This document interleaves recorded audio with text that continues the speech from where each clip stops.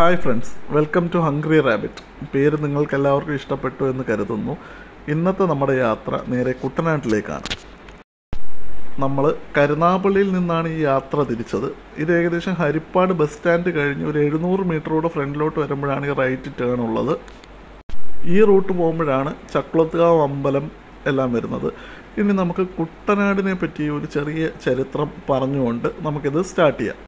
കുട്ടനാടിനെ കുറിച്ച് മെയിനായിട്ട് പറയാനുള്ളത് നാല് പ്രധാന നദികളായ പമ്പ മണിമല അച്ചൻകോവിൽ മീനച്ചിൽ വേമ്പനാട്. ഇത്രയും കായലാൽ ചുറ്റപ്പെട്ട് കിടക്കുന്ന ഒരു പ്രദേശമാണ് കുട്ടനാട്.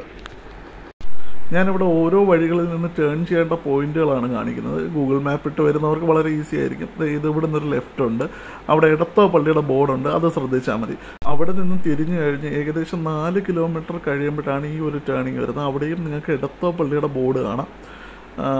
ഇതാണ് വളരെ പ്രസിദ്ധമായ ഇടത്തപ്പള്ളി അടുത്ത ടേണിംഗ് ഈ ചക്കുളത്തുകാവ് അമ്പലത്തിന്റെ അടുത്തുനിന്ന് ലെഫ്റ്റ് എടുക്കുന്നതാണ്. പാലം മുകളിലോട്ടും താഴോട്ടൊരു വഴിയുണ്ട്. ഇതാണ് ഒരു മെയിൻ ടേണിംഗ് ആണ്. ഇവിടെ വെച്ച് വഴിതെറ്റാൻ ചെറിയ സാധ്യതയുണ്ട്.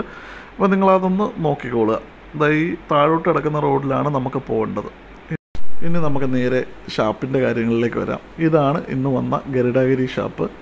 ഇത് നല്ല ഫാമിലി ഫ്രണ്ട്ലി ആയിട്ടുള്ള ഒരു ഷാപ്പാണ്. സ്റ്റാഫ് ആയാലും ക്ലെൻലിനെസ്സിന്റെ കാര്യമായാലും എല്ലാം വളരെ നീറ്റാണ്.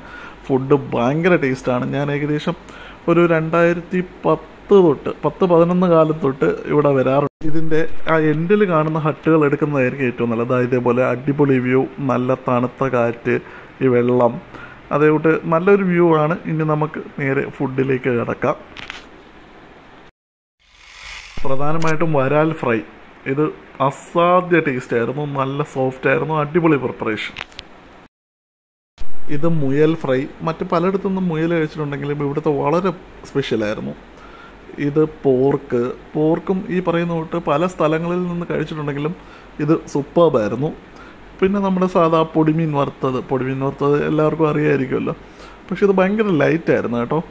പിന്നെ എന്റെ സ്പെഷ്യൽ കാച്ചിൽ ഞാൻ എവിടെ പോയാലും കപ്പയല്ല കാച്ചിലാണ് കഴിക്കുന്നത്.